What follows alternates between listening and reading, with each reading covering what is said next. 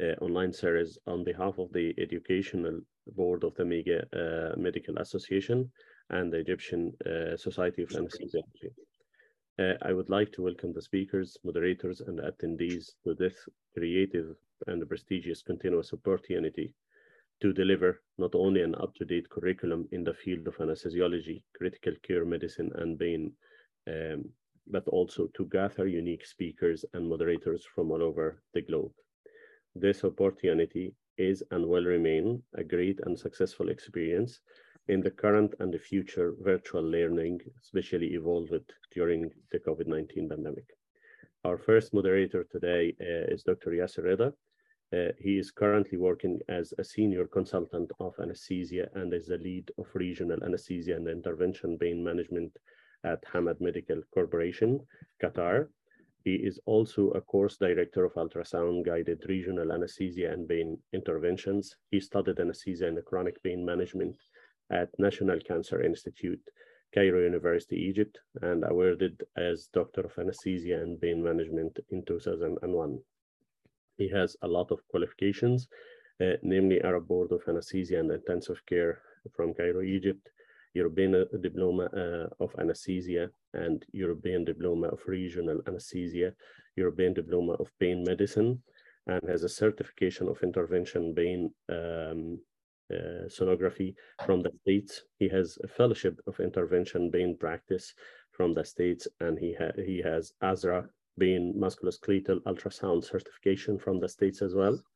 He also has ozone therapy diploma and has an American Board of Headache. He published many papers in the field of regional anesthesia and pain medicine, and he is a speaker and faculty in many local and international conferences and workshops in regional anesthesia, chronic pain, and difficult airway workshops. Uh, Dr. Yasser, please go ahead. Uh, thank you, uh, Dr. Ahmed, uh, for uh, presentation. It is an honor to to be between my colleague, my student, and my professor. I learn every time. I'm just happy to be in this platform. Whatever I am a student or speaker or moderator is the same for me. But today I'm just presenting uh, uh, one of the professional people, and he gave a lot for uh, the field of anesthesia all over the globe. Uh, Prof. Doyle uh, is a professor emeritus of anesthesiology at Cleveland Clinic, Clinic Lerner colleague of Medicine of Case Western Reserve University. And he have a very uh, well-known figure in the um, community of anesthesia. And he received his MD degree in 1982 and his BH degree in bio, biomedical engineering. So he's a, not just an, an, an doing an clinical work, but he's an innovator and uh, he have a, a, a very good uh, and a very long uh, experience in biomedical engineering and he's certified from uh, University of Toronto. He received his Canadian Board of Certification in Anesthesia in 1986. This is before I just uh, go to uh, high school.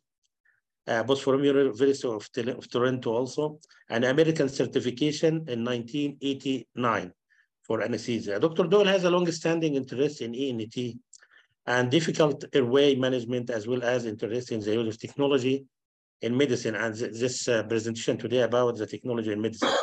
he is a past president of both the Society of Airway Management and Society of Technology in Anesthesia. His recent book, uh, um, co-editor with Dr. Basem Abdel, uh, Abdelmalak, is entitled Anesthesia for Otolaryngologic Surgery and is published uh, 2012. And another book also entitled Clinical Airway Management and Illustrated Case-Based Approach uh, was published in Cambridge University Press in 2017.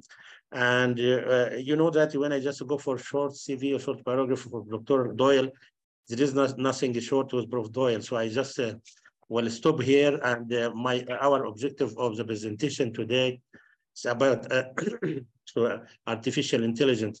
And the you know, if you have anything to ask about or just to, to any concern about the presentation because really I'm interested in this uh, topic also and I'm happy to be here. And the objective uh, to introduce the audience basic principle of artificial intelligence machine learning and how this technology be are being applied in the field of medicine. And we are the most, we have the most professional to uh, guide us in simple way and to explore the potential benefits of artificial intelligence in medicine, such as improving diagnostic accuracy, prediction, patient outcome, and then identify effectiveness, effective treatment. Again, to discuss some of the challenge and limitation of using artificial intelligence, because mostly we don't trust the machine all the time um, uh, including concern around privacy, bias, and ethical consideration, and also to share real-world example of how artificial intelligence is currently being used in healthcare, such as radiology, drug discovery, and also ultrasound, uh, even uh, general anesthesia. And also at the end to this, uh, to encourage discussion and dialogue around the potential potential impact of artificial intelligence in medicine and what steps can be taken to ensure that this technology are used in a responsible and ethical way without any more adding problem. And the field for you, for um, CETA for you, Prof. Doyle, um, uh, thank you very much.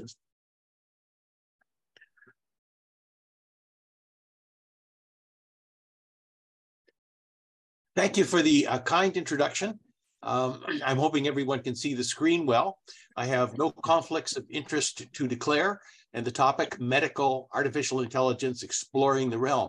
So in the top right, it says no conflicts of interest to declare, but I have an additional declaration, and that is that this material has been prepared with artificial intelligence assistant using Chat GPT.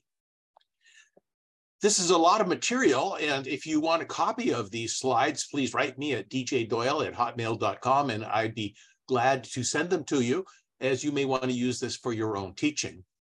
Uh, the outline here on the left is our talk outline. We're going to talk about some applications of artificial intelligence, such as early warning systems to give a clinical basis for it, talk about the Turing test and Alan Turing, one of the founders of artificial intelligence, look at the types of artificial intelligence, rule-based, map-based machine learning, and also talk about Chat GPT, which um, since November has stirred an interest around the world.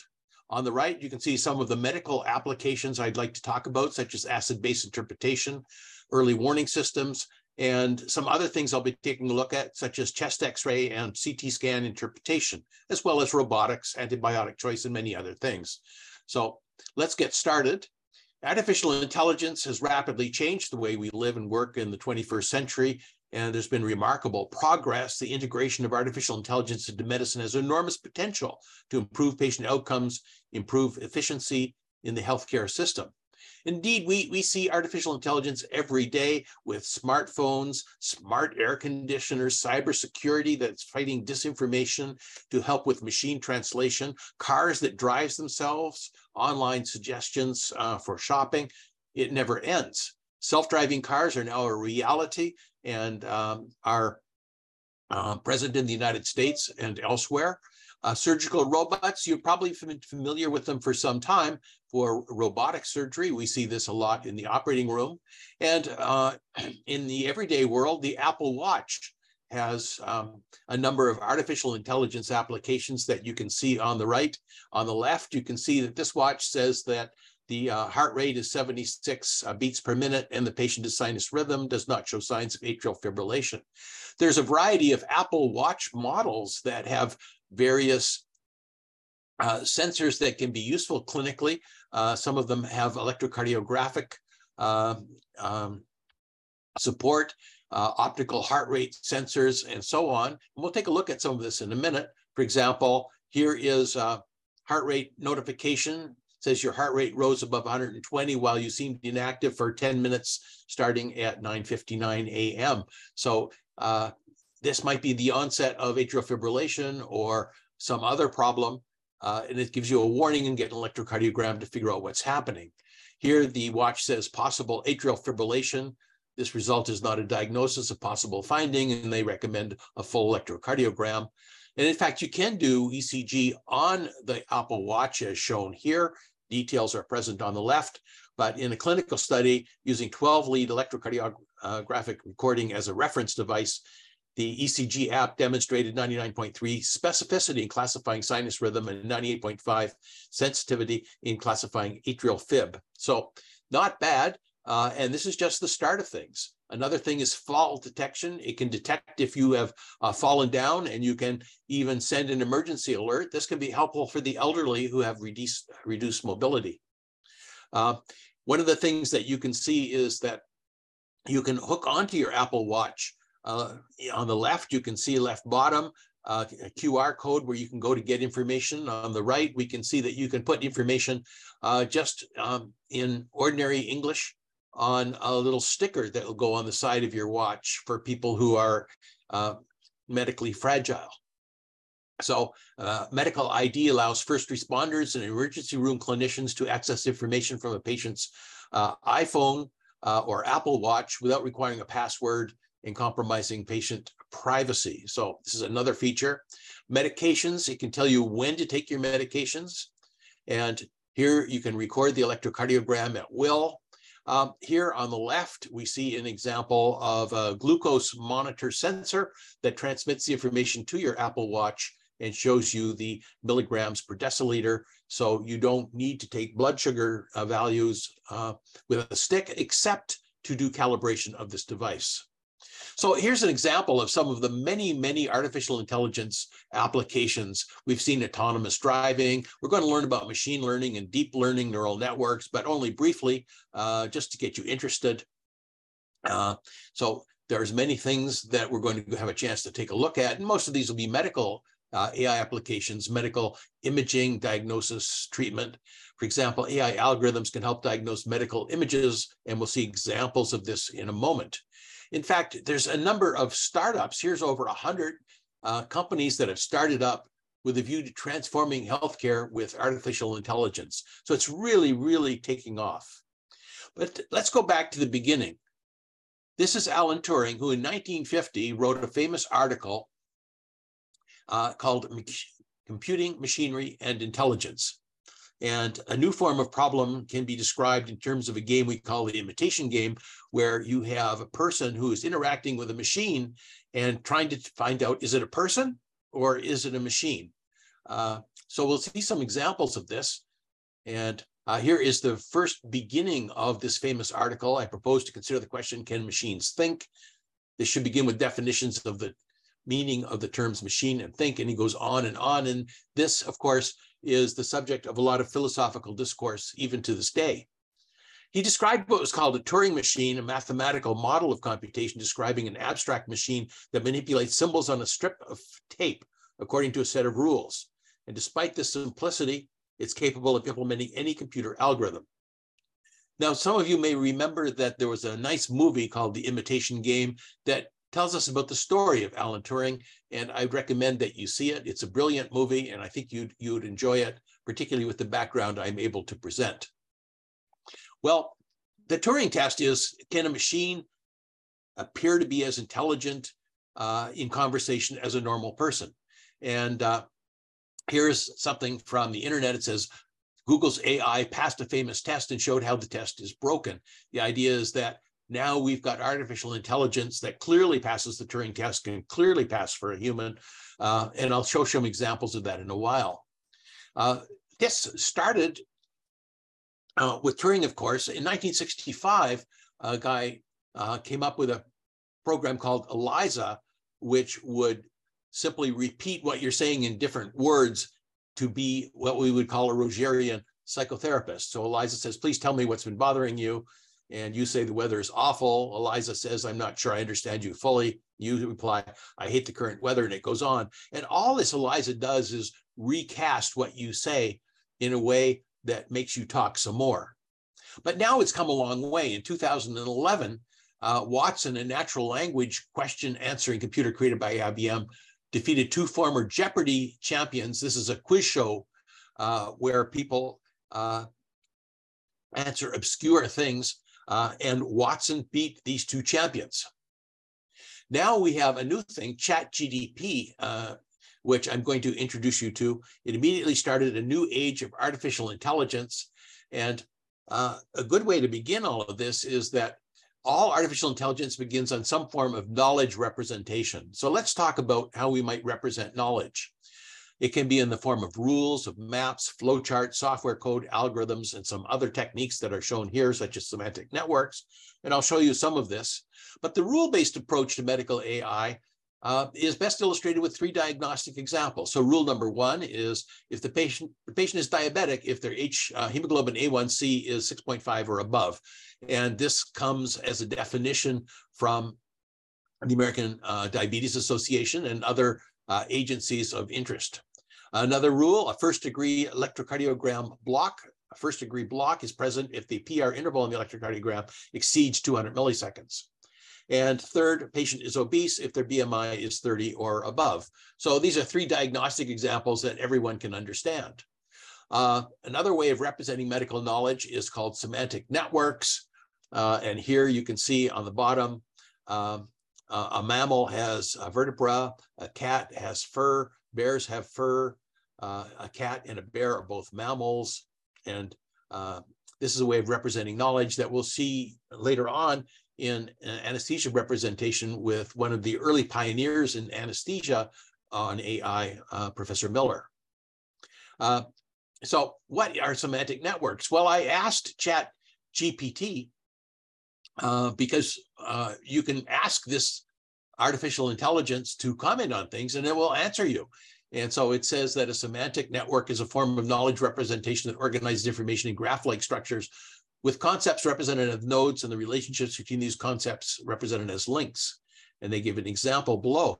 Now, what's interesting is that uh, I asked Chat GPT to uh, provide this information, and I edited it slightly to uh, make it fit in this slide. But this is highly intelligent, and it shows you that it passes the Turing test of appearing to be quite intelligent. Uh, well, let's take an example of some rule-based AI that's uh, clinically useful to this day. that's clinical early warning systems. Uh, AI algorithms can be used to monitor patients, calculate drug doses, or provide early warning systems. And let's see this example of rule-based AI. Uh, clinical early warning systems identify patients who are at risk of deteriorating and provides early warning of potential adverse events. Uh, very common step-down units and intensive care units, particularly in the United Kingdom where they seem to have originated. Uh, so here's an article if you want more information on it. How AI supports prognosis related applications in the form of clinical early warning systems. So here are some things that you can enter into the early warning system, pulse, temperature, systolic pressure, respiratory rate, conscious level, consciousness level, oxygen saturation, and the use of supplemental oxygen. And these are things that are readily uh, found out on the ward. And you can display this various kinds of information on a display like this, taking a look at various parameters for various patients. Uh, so it typically uses a combination of physiological parameters like the ones I showed you, heart rate, blood pressure, oxygen saturation. And the score is used to prioritize patients for intervention and prompt clinical review. The goal is to identify patients who are at risk of worsening before they become critically ill so that prompt interventions can be made to prevent further deterioration. And you can even have a text message, an SMS message be sent to ensure the problem does not get overlooked. And hopefully this leads to improved patient outcomes, reduced mortality, morbidity, and reduced healthcare costs. It can also be integrated with electronic health records so that information is automatically introduced. So here are, for example, some of the common parameters that I just mentioned that are used in early warning systems. The uh, uh, NHS has the NHS early warning system, and you can see if, for example, if the pulse rate is between 41 and 50, then you get a one in the warning system. If it's less than 40, you get a three. Temperature under 35, you get a three. Systolic pressure over uh, 220, you get a three, and so on. And then uh, here we can focus in on this, but these are things that are uh, easily obtained clinically. None of them are exotic. Uh, and then it comes up with a rule. Uh, here is the modified early warning system, and we can focus in on it, respiratory rate, heart rate, systolic pressure, consciousness level, and so on. And on the bottom, you can see what to do for various kinds of scores. So if the patient has a score of one to two, you do uh, two hourly observations inform the nurse in charge. If it's um, three, one uh, to two hourly observations, if it's four or more, observations at least one half hourly, and ensure medical advice is sought and contact the outreach team. So this is another version of an early warning system. And here's one for pediatrics. And you can see, again, they have various suggestions. If the score is over four, uh, increase the frequency to one per hour, uh, uh, one per every four hours. If it's over eight, contact the attending physician within 10 minutes or call the emergency team. So this is an example of artificial intelligence uh, with a clinical application. Let's take a look at some of the various approaches to medical artificial intelligence. We have rule-based approaches, map-based approaches, flowchart-based approaches, and, and others. Uh, the rule-based approach we've already had some exposure to. Uh, here they are again, if the patient's diabetic, if their uh, hemoglobin A1C is 6.5 or more, the ECG heart block, first degree heart block, if it's PR interval over 200 milliseconds, BMI over 30 means you're obese. These are simple rules. Here is a rule in uh, that's more complicated that it applies in microbiology. If the gram stain is gram positive and the morphology is coccus and the conformation is chains, then the uh, organism is probably streptococcus.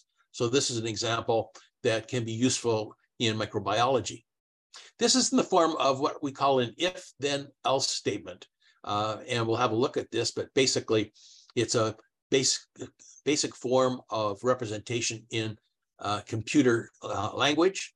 Here is example of the if then else type of statement in a computer language. This is for the Arduino microcontroller, but it just shows you how it's used.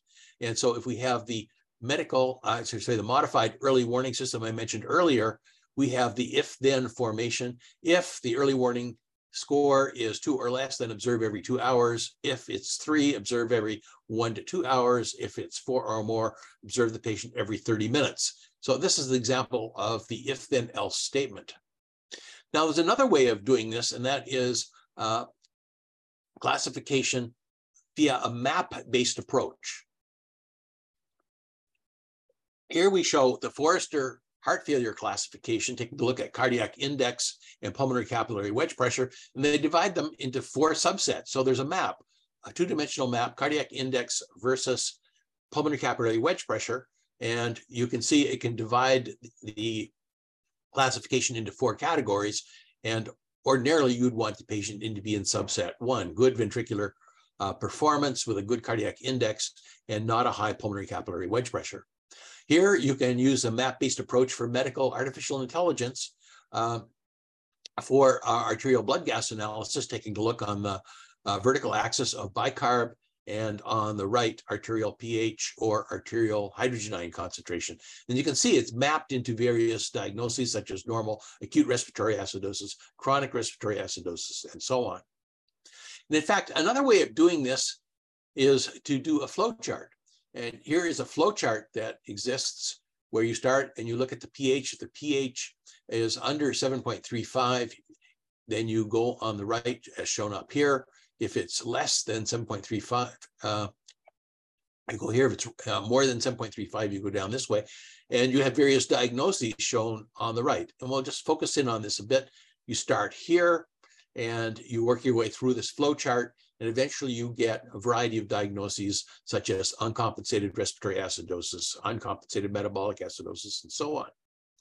And you can see this, this fits into if statements. For example, if the pH is less than 7.35 and the PCO2 is greater than 45 and the bicarb is under 22, then you have combined acidosis and so on. So these are some examples. Let's take a look now at what artificial intelligence is and its many, many forms.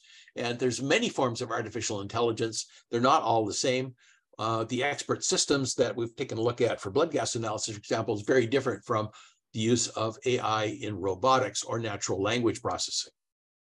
So a variety of uh, authorities will define it in various ways in terms of machine learning, speech understanding, vision recognition, uh, useful in personal identification, for example, and expert systems or robotics. Here's another uh, explanation of how artificial intelligence feeds into speech recognition, planning, robotics, vision, uh, natural language processing, and so on.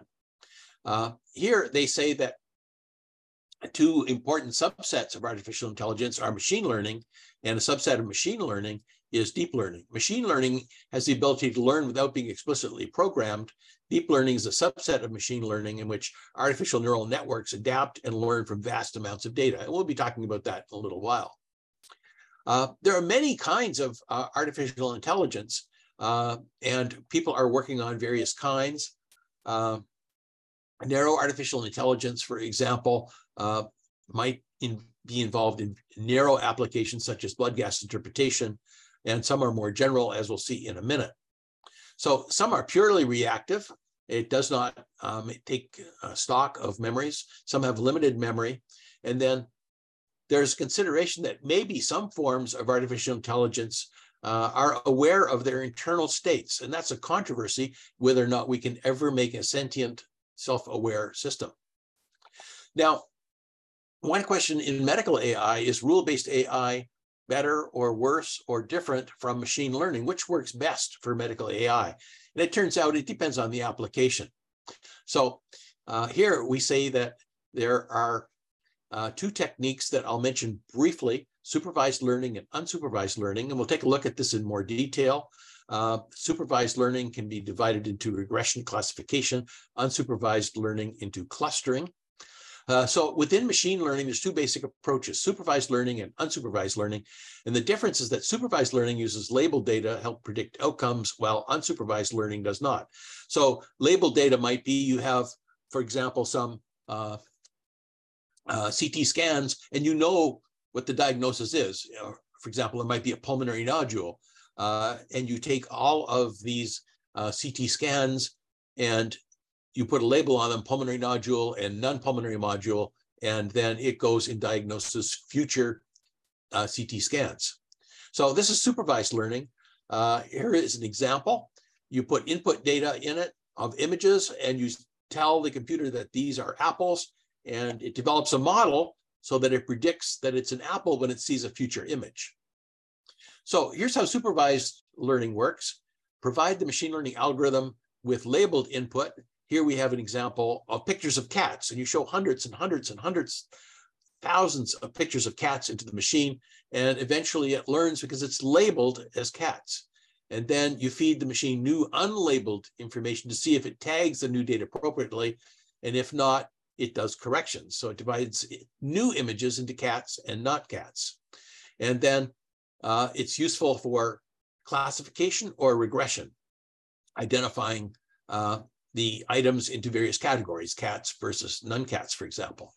Now, this is distinct from unsupervised learning where we have input data and we don't know what these are. And we actually develop a computer model to sort them into apples, peaches, bananas, and so on in this particular example. Here, you start with a whole pile of images. These would be dogs and cats. And it establishes similar group without our training. Um, and this would be cats on the top and dogs on the group on the bottom by virtue of their similarity. And this is suitable for clustering and for anomaly detection. Okay, so these are just examples of some of the techniques. Uh, there are many other techniques, clustering algorithms, um, early detection techniques, decision tree algorithms that I already exposed you to uh, with the blood gas example, and there's many others. But among the most popular of these, especially in radiology, is the neural network approach, where you have an input uh, set of images that goes to an input layer, a hidden layer, and an output layer. And these are artificial neurons that are connected to each other and connected to the input and output data. An example would be for anesthesia, you have an input layer might be the uh, power in the EEG, the entropy in the EEG, the mean arterial pressure, heart rate variability, and the output layer uh, says the patient's either awake or the patient's asleep, processed in this way. Now, I want to introduce you to Chat GPT because it's one of the most interesting applications of artificial intelligence. You can download it uh, on your computer uh, very easily by signing up. And I asked Chat GPT to tell me what kind of things that AI can do in anesthesia. And this is its answer. says it can be useful in predictive modeling, real-time modeling, sedation depth monitoring, prediction of postoperative pain, assistance with difficult airway management, et cetera, et cetera. So this is not my writing. This is the stuff that we got from Chat GPT itself. Uh, so here's an example of some of the things I asked it. I said, please explain the precautions that anesthesiologists must take to reduce the risk of gastric aspiration following induction of general anesthesia in the patient with incomplete gastric emptying. So this is like an oral exam question you would ask one of your uh, students. Uh, and here's the AI response. It's very detailed, uh, not bad at all, including the use of pro-kinetic agents. Again, this is everything it said. It's not what I put up. Uh, it came up with it on its own. Uh, but it's interesting because uh, some of the things it says are a little strange. Uh, positioning, patients should be placed in the left lateral decubitus position to help the re reduce the risk of aspiration. I don't think so. Uh, and there's no mention of rapid sequence inductions and cricoid pressure, no mention of awake intubation.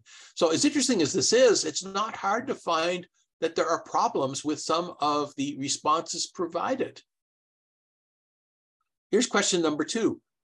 Discuss the potential implications and contraindications pertaining to awake fiber optic intubation in patient with suspected difficult airway. So uh, here it provides a whole pile of information, indications uh, shown here and contraindications shown. Uh, and it provides some obvious things. Uh, awake fiber optic uh, intubation contraindication with patients with severe bleeding and coagulopathies as bleeding during the procedure make visualization of the vocal cords difficult, increase the risk of complications.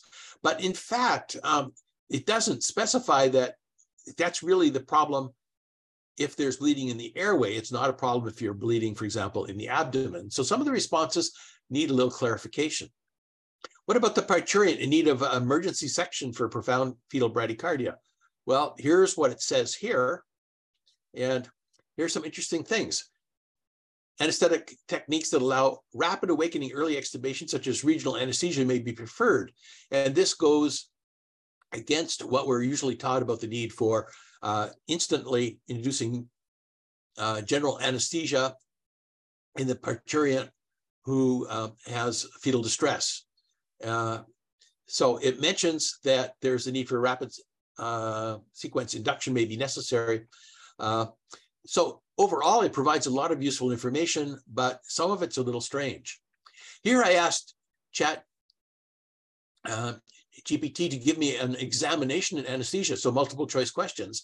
These it came up with on its own. What is the main purpose of general anesthesia? Answer B, to induce unconsciousness. What are the common methods of uh, administering general anesthesia? A and B, inhalation and intravenous, and so on. So it can come with the multiple choice exam questions. Uh, here's some more. What's the most commonly used device for tracheal intubation? Answer, endotracheal tube. Um, so comes up with some useful stuff. Here's some more. Potential complications of tracheal intubation, all of the above. What is the most uh, important factor when considering uh, performing tracheal intubation, all of the above. So all overall, these are not bad for starting, but you'll want to edit these if you're going to use them. So when I was preparing this lecture, I thought, what does Chat GPT, uh, what can it help me with? It says, please give me an outline for a lecture on artificial intelligence in medicine with emphasis on its application to anesthesia surgery and ICU care. And I asked Chat GPT uh, to tell me about this. And it said, well, here's an outline, uh, AI in anesthesia, AI in surgery, AI in ICU care, clinical support systems, and some of the challenges. And so here's uh, the first outline that it offered, and not a bad starting point. Uh, so that's Chat GPT. I'm going to get back to Chat GPT later to show you some of the considerations that we have to take into account because they don't always provide useful information. But so what are some of the applications of AI in healthcare? Um, chatbots we already got introduced to, the treatment design, mining medical records, virtual healthcare assistants are all possibilities. Um, here is an article that I contributed to uh, called Artificial Intelligence, the New Alexander Fleming, talking about AI applications in infectious disease management.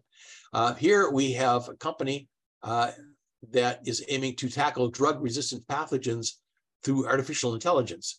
The, they've developed a platform called uh, Amply, which connects the digital biological biome to high volume peptide and protein extraction technology to unlock a new frontier in drug discovery. It uses black box unpublished machine learning and bioinformatic methodologies to highlight novel compounds using a complex web of over 450 metadata tags. So the idea is that it's coming up with new molecules that may be useful. Let's take a look at AI in radiology because this is one of the uh, most interesting applications. And one of the companies in Japan who's working on this is called uh, Infervision. Uh, they call it an extra pair of eyes for radiologists. With AI, we improve human life.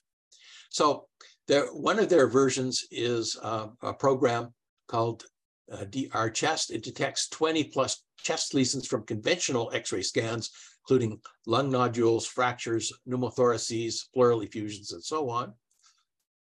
And here you can see an X-ray and it says, I see some pathology here. I see three fractures.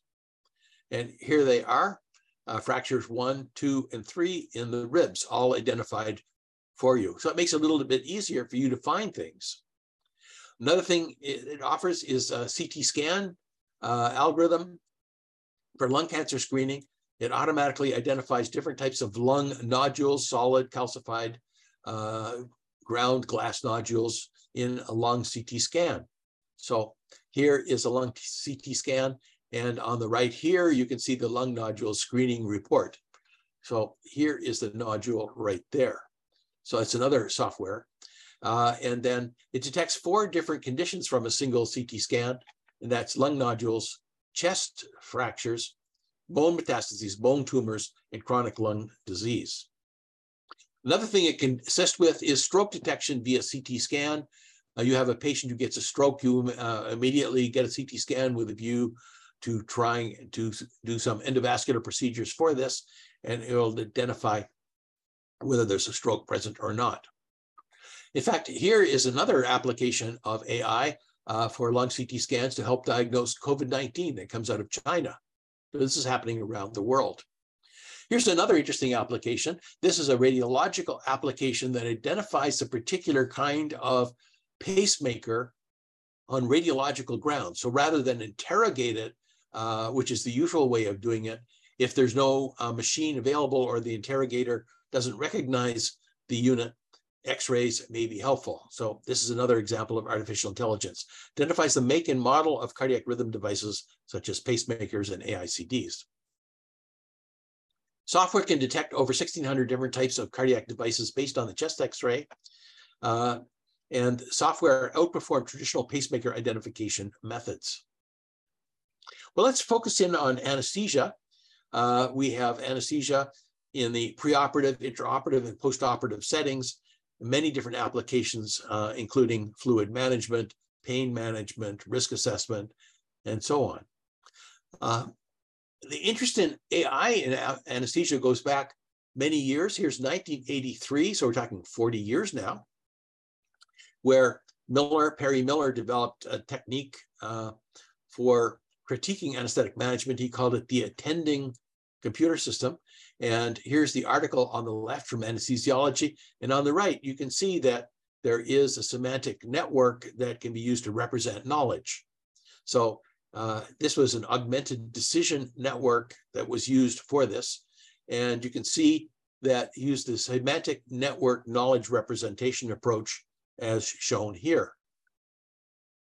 Now we have other applications of anesthesia, such as closed loop anesthesia, where we have, for example, a patient electroencephalogram is used to determine the depth of anesthesia. And then we have software that controls an infusion pump under computer control.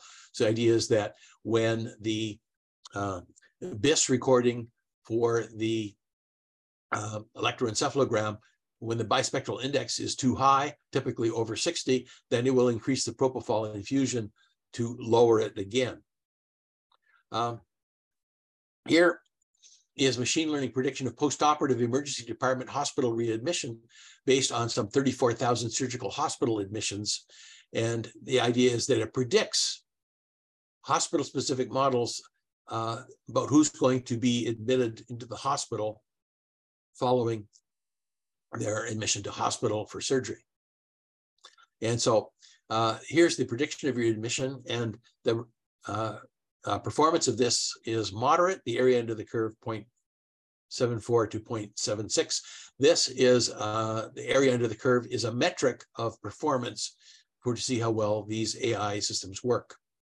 Uh, for those of you who are interested in uh, AI and uh, artificial intelligence for uh, airway management, here is the Intubot. It is an intubation robot, uh, enables precise maneuvering and harmful uh, avoids harmful tissue contact, freeing up one hand because of automated insertion. So uh, this is the robotic aspect of artificial intelligence that people are working on. Now, what about the intensive care unit? Uh, well, here is a review article. Um, uh, again, this is from Perry Miller. You can see him on the right. Uh, as early as 1988, people have been working on artificial intelligence and anesthesia in the OR and ICU. Here's some additional articles that you might be interested in if you want additional materials, but you can see uh, that there's a lot going on. What about predictive models? This can be very useful in planning and two clinical examples where AI-based predictive models help in ICU decision making are sepsis and mechanical ventilation. So let's take a look at them. For sepsis, here is uh, an article where they uh, developed an algorithm with independent clinical notes and achieved a high predictive accuracy uh, 12 hours before the onset of sepsis, area under the curve 0.94. Now, I mentioned area under the curve, the uh, higher the number, the better the performance. And so this is spectacularly excellent. Uh, antibiotics, I've already made mention that uh, it can be useful for AI chosen antibiotics. Uh, here for uh, AI in mechanical ventilation is an article, Artificial Intelligence for Mechanical Ventilation, Systemic Review of Design, Reporting Standards, and Bias. So the authors here started with uh, 1,342 studies concerning mechanical ventilation. 95 were ultimately selected for their high quality designs They made recommendations that emphasize the validation of the algorithms used in medical AI.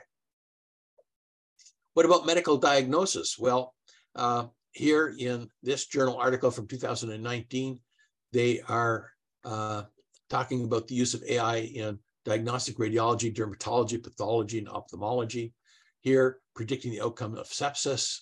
Uh, and so we have just so many applications.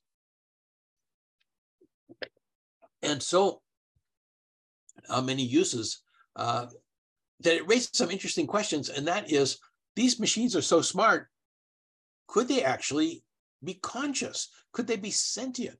So that's a question of philosophy that uh, we don't have an answer to.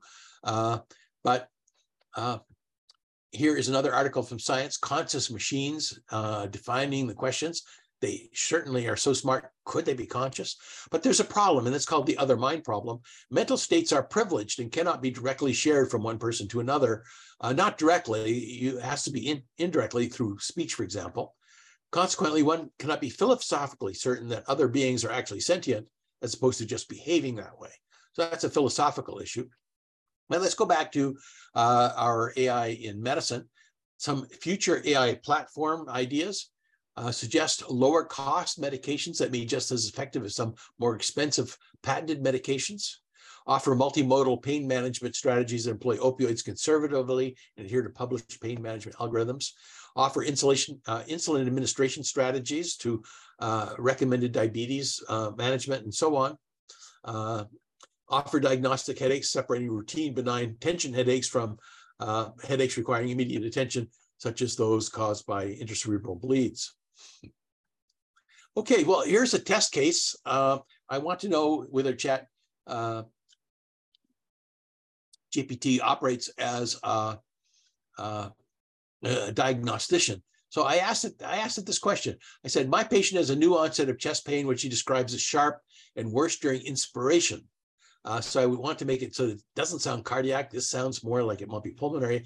Any ideas about diagnosis? Some helpful tests. And let's see what it said. It said chest pain can be a symptom of several conditions. Could be pneumonia, could be pulmonary embolism, could be pleurisy.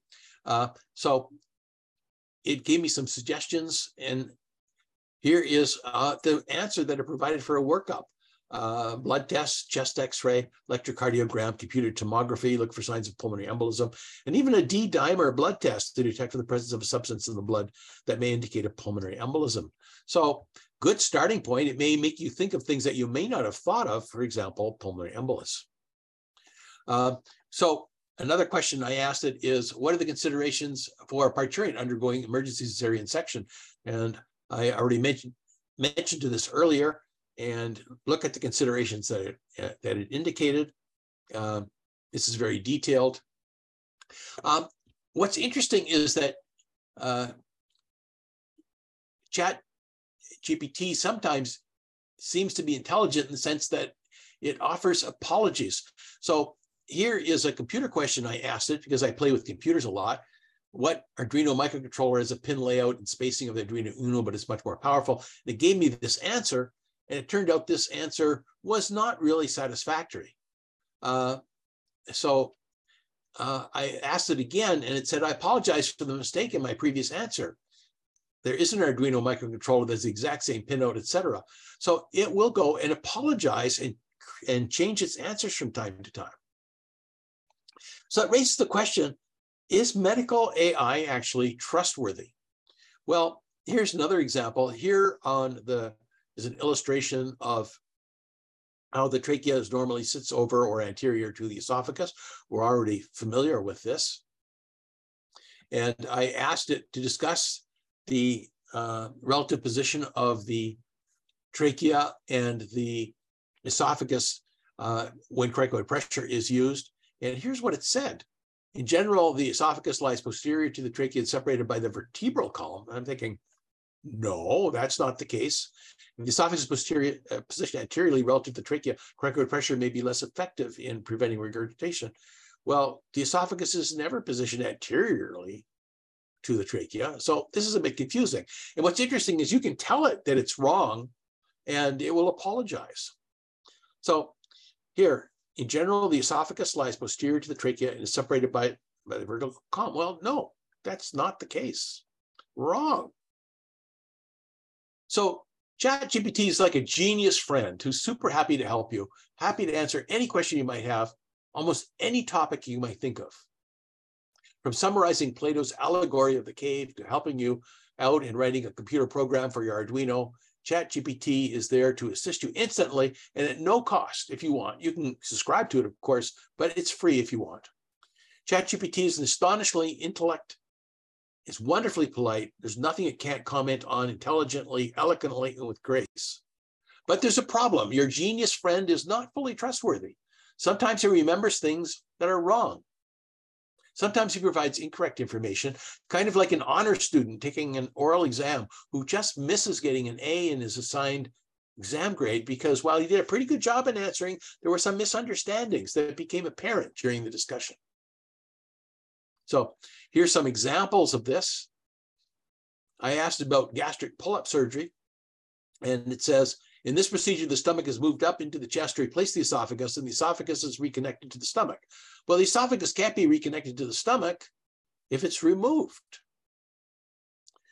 What about ECG interpretation? Here is an article from Anesthesiology News just from last month. And an abnormal ECG interpreted by the computer system as atrial fibrillation. But if you look at it, it said, well, that's not atrial fibrillation. And in fact, the ECG is interpreted as atrial fibrillation, but in fact, the computer interpretation was wrong. The ECG actually showed nodal bradycardia consistent with the vasovagal response, not atrial fibrillation. Okay, so we want to read more about that misinterpretation of computerized ECG machines, a case report, and literature review.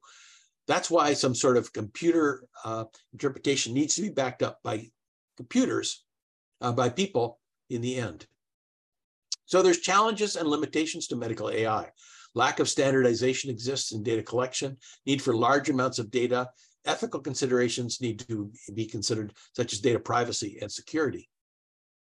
So I'd like to close by commenting on some of the artificial intelligence dangers to humanity that people are concerned, because it can be used by governments to harm their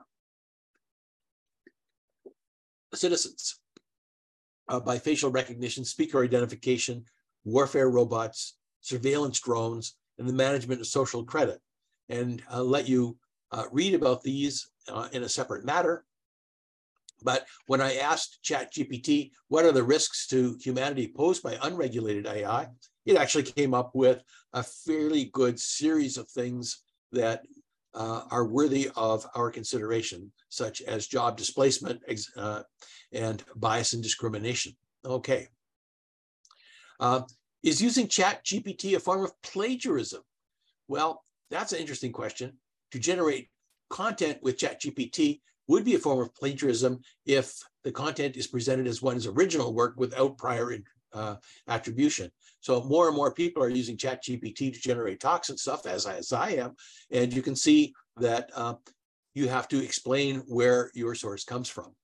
So in conclusion, while AI has the potential to transform medicine and improve patient outcomes, it remains important to carefully address the challenges and limitations. As AI continues to evolve, it's likely that it'll become an increasingly important tool in the healthcare system, enable us, us to deliver care to patients. A final note, our focus must be to solve clinical problems and not merely throw technology as patients.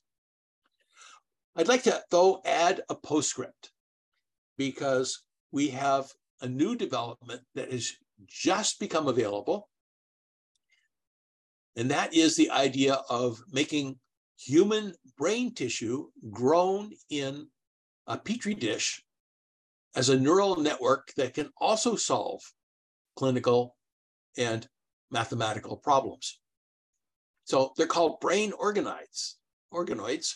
It's a miniaturized and simplified version of an organ produced in vitro in three dimensions that mimics the key structural, functional, and biological complexity of that organ. So you could grow, you could, for example, uh, grow uh, tissue culture of uh, kidney tissue, and if it's done right, it could be used as a replacement for dialysis. At least that's one of the hopes. These are derived from one or a few cells from tissue, embryonic stem cells, or induced pluripotent stem cells, which self-organize into three-dimensional structure. Then they're doing this for brains. Uh, and the idea is that we have neural tissue, typically uh, from human tissue, human brain tissue, and it's organized into a three-dimensional structure. So here's an article. It's uh, just from February 27th of this year, Organoid Intelligence, the new frontier in biocomputing and intelligence on a dish. They write, we envision, envision complex inter um, uh, networked interfaces where brain organoids are connected with real-time sensors and output devices and ultimately with each other and with sensory organ organoids like, for example, retinal organoids, and are trained using biofeedback, big data warehousing, and machine learning methods. So this is a new dimension. It's just been mentioned in the uh, from uh, basically uh, uh, one to two weeks ago as a new technology being introduced in biocomputing. And here are the key points that they make for people who want more details about the concept of biocomputing and intelligence in a dish. Here are various trajectories that they see for how this technology will be introduced. And this brings us to sort of where we were in the computers in the 1950s here we are with this whole new technology just been introduced basically two weeks ago that you're going to find interesting in our, especially in our children's and grandchildren's careers. One question is, is it ethical to grow a brain in a Petri dish? I'll let you read about that if you're interested. And with that, I'd like to bring the talk to an end and thank everyone for their attention. Very much appreciated. Thank you, Prof. Uh, Doyle, and I think it is a raw material for a discussion. And um, uh, first, I think um, I let uh, our professor, Dr. Dawlatli, have uh, some concern and question. You can um, uh, ask Dr. Dawlatli. I just can open the, uh, sorry, the mic for you, Dr. Okay, thank you very much, Professor Doyle, for this interesting presentation on AI. Uh, actually, one point I wanted to mention because we are receiving articles um, uh, basically written through either the chat GPT or any other platforms uh, similar to it. And when we check the similarity index, it came, as you mentioned in your last slide, with plagiarism, um, very high percentage. And article um, ultimately is going to be rejected. My question is uh, whom to blame now? The researcher or the chat GPT? Well, it's not a question of a blame so much as a paradigm shift in the way things are done. Uh, chat GPT can be very useful uh, at the early planning stages of writing an article. Uh, but you have to edit the material appropriately so that it's actually yours and not belong to chat gpt i think it would be helpful as i did at the very beginning to indicate at the top that you use chat gpt chat gpt in uh, the development of this just like you would use a research assistant uh, if you are a professor. Many professors have research assistants and graduate assistants and they use them to collect references for example collect materials uh, and summarize them. ChatGPT can do the same thing. Uh, and so the, the question is, what kind of statement should you provide to let people know that ChatGPT was used, just like you might provide recognition that you had a research assistant who is very helpful in providing discussions. Uh, this will evolve and eventually journals will provide guidelines for this.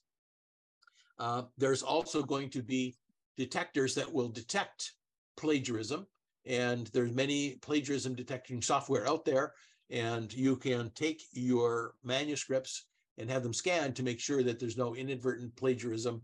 Uh, when I've done that myself and found that there was plagiarism detected, often it was because I had the same quotes as somebody else. So I'll, for example, quote an article uh, um, and the plagiarism detector will say, well, this quote was provided elsewhere. And yes, because that's a quotation. So this is a, a, new thing. It's going to be especially important when we talk about students writing essays. Uh, you, uh, right. in, yeah. in, studying history, for example, uh, you're going to write essays on various topics, and you want to make sure that plagiarism is not present. Okay, thank you uh, I, another question. I have a question, but I will be at the end. But uh, now I think Dr. Ahmed uh, asking another question. You can uh, uh, discuss Dr. Ahmed. This So, Prof. Doyle. Open your uh, mic. Open your mic. Dr. Oh, sorry. Yes. Thanks for the presentation, Dr. Doyle. Um, my question is about, however, artificial intelligence represents a breakthrough such as picking up patient data from a uh, watch, uh, such as the Apple Watch, but using personalized patient data, such as their medical registration number, represents a compromise and a breach of their confidentiality. Do we need to modify patient consents to avoid any breach in general data protection regulations? Um, good question. That may depend on what the laws are for your particular environment. So the laws in Europe and the laws in the United States, uh, not only are they an evolution, but they may be different. Uh, so this is a regulatory issue, and no doubt there are committees whose job it is to sort this through. So I don't have a good answer for that, except stay tuned. Sure. And my second part also is about the academic writing, as mentioned by Dr. Al Dawlatli, uh, but uh, using the AI programs such as ChatGPT represents a compromise for the ethics of research. How can we overcome that? Apart well, from mentioning that we have used the ChatGPT in the academic writing or something. Yeah. So I think the answer is you have to explain that uh, ChatGPT was used and explain why um, the key thing is that you are open about it. And I think most people will be comfortable in the future for allowing ChatGPT as one of the tools that you use for your research. Yeah. Uh, uh, finish, Dr. Ahmed? Yeah. Uh, another question from our colleague, uh, Dr. Saad Guma, he said, asking, is there is any correlation between simulation and artificial intelligence? Uh, Absolutely. Uh, artificial intelligence can be very useful in simulation scenarios. Absolutely. Um, uh, last question for me. Uh, in 2003, I just went for training for some of uh, beam management. Uh, it wasn't just a Gasserian ganglion uh, uh, rhizotomy. And I traveled three years before 2000, and my professor was doing about five cases. And he make a prototypes like a GPS for the base of the skull to catch the foramen ovale. And after three years, uh, 2003, I went there. He make a prototype for this artificial intelligence, and it, it, it he did about 12 cases per day, and it was a fantastic thing. But um, when I leave uh, after training, he tell me uh, last word when I leave. He tell me, please don't trust the machine. It is about 20 years before. Now, can we trust the machine now or still?